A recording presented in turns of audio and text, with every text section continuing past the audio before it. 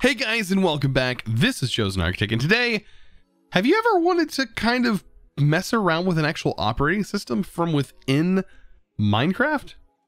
Well, this is the video for you. I hope you guys are ready. So yes, what you've seen in the beginning of the, of the video is true. This is an actual operating system that we have up and running. Um, JD, at least his name on Discord, reached out to me um, and he linked me with this awesome thing that I it wasn't even on the forum. You don't even find it on the forum very easy, but it's called Mine OS, and it is absolutely wonderful. So, because I didn't know about this, I'm sure a lot of you guys just diving into open computers may not know about this either, and it's really fun to play around with, especially inside of Minecraft. I mean, it's just, I mean, this could be so, you could have so much fun with this playing around with your friends on servers and, su and such. So, um, I just want to kind of go over this. As you can see right now, this is a screensaver that you're seeing. So when you open this menu and double tap, it's going to pull us in to the actual operating system that you see here. So before we get into this, I'm going to show you how to actually install this because right now what we can do is of course control alt C to take us back to the main our main system, right? Because right now this is going to be um, uh, what you would call it. Uh, I think it just actually shut itself down. Um, this is going to open up the Mine OS. I think you can actually go into here from the settings and we can go into system. Can't remember where it was actually at. I remember seeing auto start. I think it takes us to the script for auto start, which is actually under, where would it be at? I think it's under base and it's under OS Lua I remember correctly. No, it's not. Okay. So anyways, uh, what we can do though, is we can just hit this reinstall OS. I believe that will automatically let us reinstall. Really what you're going to do, I'll have it all linked down in the description below. All you have to do is copy the section which just says paste bin, run and then has the paste bin code. You can hit insert and this will straight up install after you follow the instructions. The instructions are super simple. Um, all you have to do is do the same things we talked about last episode and make sure you install um, Lua and basically get it up and running. Um, this is failed to load the image because there's not enough memory. That is probably because the memory card is here. So what I'm going to do, let's go ahead and scrap this. I'm going to go ahead and grab a new hard disk. We are going to remove this one because this EFI has something else flashed onto it. Um, so we need to actually pull back the old stuff. I'm going to make a new hard drive and then we're going to install this fresh so that way you guys can follow along with me. So let's go ahead and take a trip down memory road. Um, we need to, to, get the Lua BIOS here and make sure you get the operating system. So open OS. You're going to need to have both of those and then you're going to need a fresh drive. Um, this one right here is already, you see it already says it has open OS installed into it. This one does not. Um, so let's go ahead and restart after the restart, we should just load up normally. There we go. And it's actually going to boot up, but like I've said before, it's really slow. So we need to do install. That is going to install into the hard disk. You're going to hit yes, because you are going to need this. And we're going to go ahead and let that process happen where it actually installs onto this computer. So it's going to take a minute.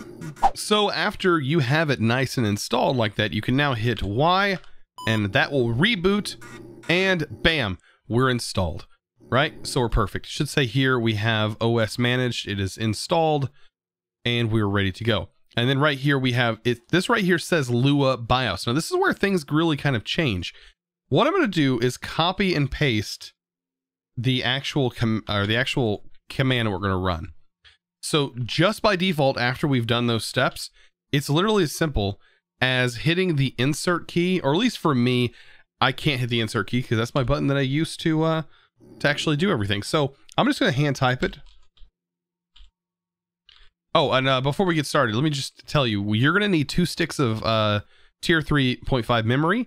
Um, you're going to need a tier 3 hard drive, and you're also going to need a tier 3 graphics card and an internet card if you want to download apps in the App Store. I know that sounds kind of crazy, but it is a thing. Um, you can expand the screen if you want to. You don't have to. Really, you do all the functionality inside this main screen. So let's finish this. Uh, Pastebin run, because we're just going to be running this command. This does not need to be saved because it's going to install it for us. This is like an auto installer. It is absolutely amazing. After playing around with this a little bit, I am I'm absolutely blown away. So I believe this is the command, and then as soon as you're ready, you just hit enter. It's going to download, then it's going to start to run, and this is where things get a little bit crazy, right? It's going to load up MineOS. This is literally just like installing Linux or Windows, any of those operating systems onto a computer. And this is what's make this makes this so fun. That's why I said modded Minecraft, uh, man, is a, a, a crazy thing. Absolutely crazy um, when you dive into it. So let's go ahead and pull this up. You can select your language. Of course, it does support multiple languages. We can go into here. I'm going to go ahead. Eh, it says you can erase it. I've got 19% used.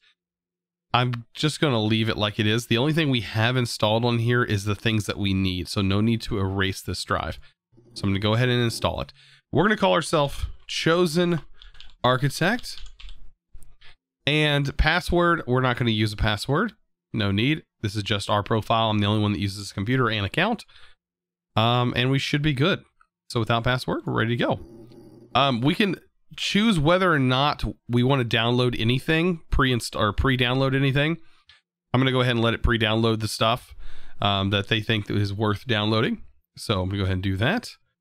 Actually, language packs probably don't need, but you know, whatever. So you do have to accept this. Uh, permissions hereby granted free of charge. Any, from, you know, copying of the software, blah, blah, blah. The software, I mean, just make sure you kind of read that.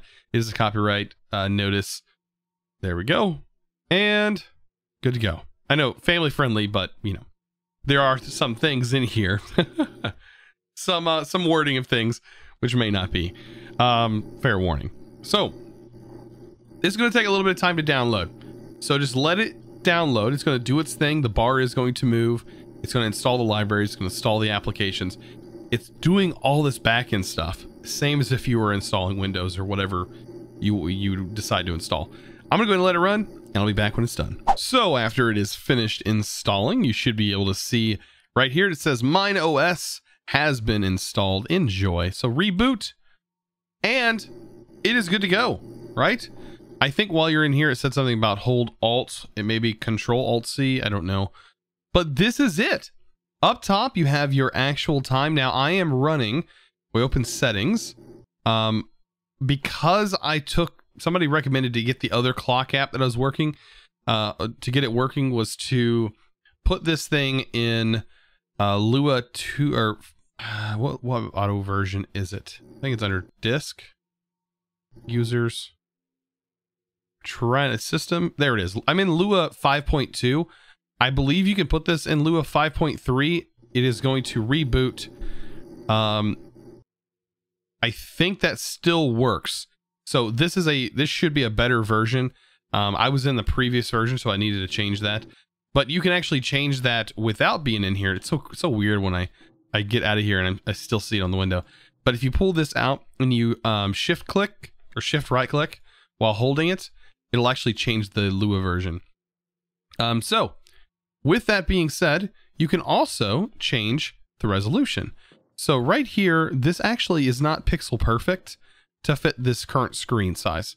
We can change that. So if we set this to auto scaling, we can select the best auto scale for our current resolution. And this is the best scaling for our current resolution and fits this border much neater, right? And gives us literally a one pixel border all the way around. So it fits it way better and looks a lot clearer. So that is something that you can also do. Um, I just want to go over some of the crazy stuff that we can do with this, right? So over here is how you navigate your bars. Um, we have 3D print. We have a full, fully functioning calculator. I'm not joking. You can do your math homework here.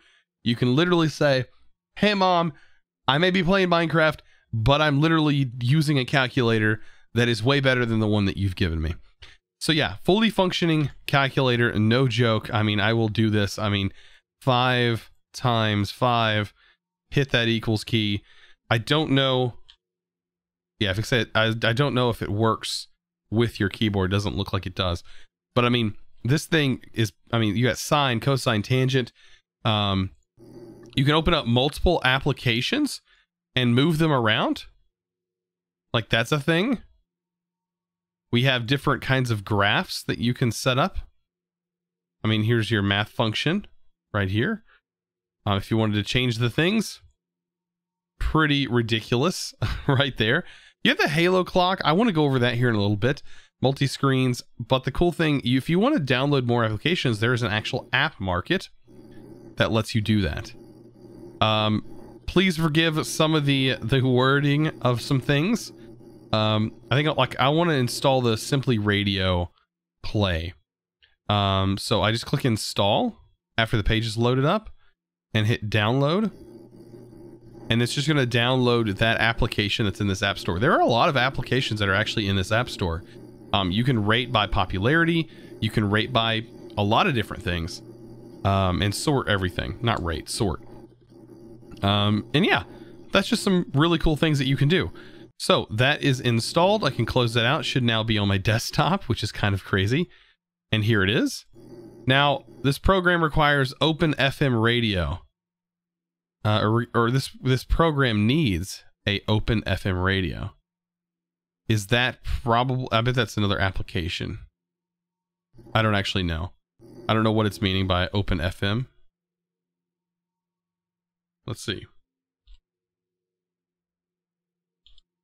I think you can search for particular applications and stuff like that. I don't know. Right here, sponsored by McModder. So yeah, I don't. Anyways, I'm just kind of going over some of the cool things that you can do with this. Um, you have a fully functional Finder. So just, I mean, Finder as in like Linux, but like, and uh, in Mac, but like, right here is your browser. I mean, you have your applications, your desktop, your root, um, all kinds of different stuff. Um, you have a symbols manager. Some of these require certain things. That's hilarious. Um, this is a really cool one. This this right here will whatever you type in here. So whatever you type in here, you can change uh, the the like color and things like that. Hit OK, and yeah, you can get back out of here, and that will just stay scrolling. So you can you can have scrolling text run just simply from the OS here. Um, and then whenever you want to go back, you just double double click and you're back. I mean, it's it's that's really cool. You have functional weather, so you can search for your city. Of course, I'm not in St. Petersburg, Russia, but um, you can put your city in here and it will tell you your active forecast, which is kind of crazy. Um, man, I'm just trying to think of some of the other cool things. I just want to go over the Holo clock. I think we can actually do that. So I have a Halo projector and some cabling. Um, I want to see how this thing functions. So I'm going to run some cable. To, I think it needs to go to the bottom of it, doesn't it? Does this go to the, connect to the bottom? Yeah, connects to the bottom. So that's the screensaver. We can change all that here in a second. Let's load up Holo Clock. And it says press R to randomize clock color. Scroll to change projection scale. Press enter to save and quit. Oh, cool. Oh, oh, that is so cool. Look at that clock. That it, doesn't get better than that. So yes, you can use this to fully control a functioning clock. Yep. I'm already in, I'm already enjoying this. So another cool Halo projector thing that you can set up is a Christmas tree. Um, so right here is a lovely Christmas tree that they have, which loads up from this application. And you can change the speed, the translation. If you want the translation to be changed, you can do that. But look at that. You can have it spinning, dropping snow on the ground. I mean, this that's that's awesome. That's some awesome stuff right there. And if whenever you don't want it, I mean, you can literally just close the application. Well, I guess in this case, it didn't actually go away. Um, but I mean, you could break it and it'll go away. But that's that's really cool. Um, there's even an IRC chat if you really wanted to mess around with that. Um, I want to go over some of the settings things, which is really cool. You have different wallpapers that you can select. Of course, there are some really cool looking wallpapers. I mean, that you can change. I mean, there you go. You got your gamer girl. Um, let's see, what else do we got? Wallpapers. You got block, which I think is really like super bright. There we go. I've actually not tried to minimize. Ah, so the minimization does work. All right. We have that. We have more girl pictures. There we go. I mean, there's, like I said, there's some really cool things here. There's mystery. I've, I've not seen mystery other than it being a dark themed. Ooh, spooky. Um, so yeah, I really do like the, uh, I really do like the space themed one. Um, there are also some custom screensavers. Uh, like the Nyan Cat is one, for example. We can set the delay all the way down. And then we get the Nyan Cat. Like, these screensavers can actually run as full loops. So if you don't, I mean, if you just want to have a big screen of a Nyan Cat, there's a perfect, perfectly good way to do this.